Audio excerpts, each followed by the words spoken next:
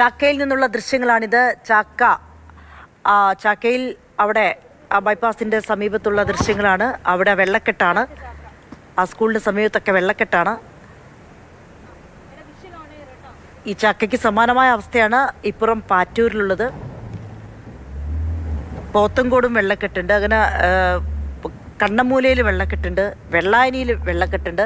അപ്പോൾ തിരുവനന്തപുരത്ത് പലയിടങ്ങളിലും ഇന്നലെ പെയ്ത മഴയിൽ ഇന്നലെ പെയ്ത് തുടങ്ങി ഇന്ന് ഇപ്പോഴും നിൽക്കുന്ന മഴയിൽ വെള്ളക്കെട്ട് രൂപപ്പെട്ടിട്ടുണ്ട്. ഈ പാറ്റൂരിൽ നിന്ന് നമ്മുടെ ആഷ്ടി ചേരുന്നു. ആഷ്ടി ഉള്ളത് പാറ്റൂരിൽ വെള്ളക്കെട്ട് ഉണ്ടായതിനെ തുടർന്ന് സമീപത്തെ വീടുകളിലേക്ക് വെള്ളം കയറിയിട്ടുണ്ട്.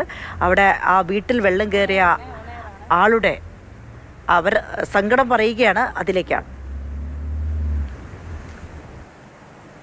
എപ്പോഴായിരുന്നു ഈ വെള്ളം ഇത്രയധികം കയറി ഒരു മണിക്ക് ശേഷമാണ് ഒരു പന്ത്രണ്ടരയ്ക്ക് ഞാൻ ഉണന്നു.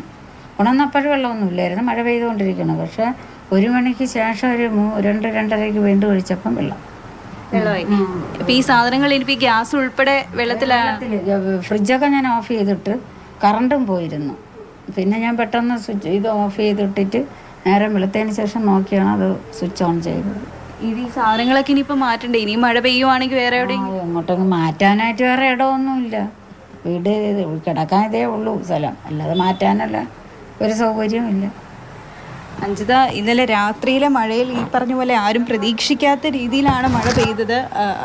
ആരും ഈ ഇന്നലെ പലരും ഉറങ്ങുന്ന ഒരു സമയമാണല്ലോ. അപ്പോൾ ആ സമയത്ത് പലരും അറിഞ്ഞില്ല. രാവിലെ എണീറ്റപ്പോഴാണ് പല വീട്ടുകാരും ഇത്തരത്തിൽ വെള്ളം കയറിയിട്ടുണ്ട് എന്നുള്ള കാര്യം അറിയുന്നത്. ഞാനിവിടെ അന്വേഷിച്ചപ്പോൾ തന്നെ ഈ പല വീടുകളിൽ ഇത്തരത്തിൽ വെള്ളം കയറിയിട്ടുണ്ട്. ഈ ഈ വീട്ടുകാരെല്ലാം തന്നെ ഇലക്ട്രോണിക് സാധനങ്ങൾ ഉൾപ്പെടെയുള്ള സാധനങ്ങളുണ്ട്. എളുപ്പം കേടുവന്ന് പോകാവുന്ന സാധനങ്ങളുണ്ട്. അതുകൊണ്ട് തന്നെ ആളുകൾ ഈ സാധനങ്ങളെല്ലാം മാറ്റുന്ന തിരക്കിൽ കൂടിയാണ്. മാറി താമസിക്കാനുള്ള ഇടമില്ല. ആരും മരണവുമില്ല എന്നുവെച്ചാൽ ആ ഒരു ബുദ്ധിമുട്ടേ ഉള്ളൂ. ആ സീറ്റായതുകൊണ്ട് പിന്നെ ഞാൻ പിന്നെ ഈ സീറ്റ് വെള്ളം വീഴുമ്പോൾ നമുക്ക് അറിയാമല്ലോ അതുകൊണ്ട് പിന്നെ വെള്ളമെല്ലാം കോരിക്കളഞ്ഞ് എനിക്ക് രണ്ട് മക്കളുണ്ട്. രണ്ടുപേരും മാറി താമസിക്കുന്നതുകൊണ്ട് ബുദ്ധിമുട്ടില്ല. ഞാൻ ഒറ്റയ്ക്കേ ഉള്ളൂ. അഞ്ജിത എന്തായാലും ഇതുപോലെ രാവിലെ എണീറ്റപ്പോഴാണ് പലരും ഈ കാര്യങ്ങളൊക്കെ അറിയുന്നത്. വീട്ടിൽ വെള്ളം കയറി എന്നുള്ള കാര്യം അറിയുന്നത്.